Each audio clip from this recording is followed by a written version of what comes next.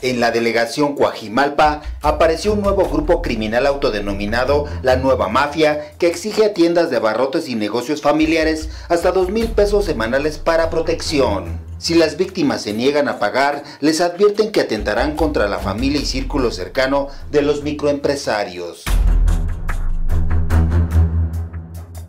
La Procuraduría General de Justicia de la Ciudad de México informó que los extorsionadores dejan como mensajes intimidatorios partes humanas en las puertas de los locales sobre una cartulina con datos sobre sus familias, principalmente niños y esposas.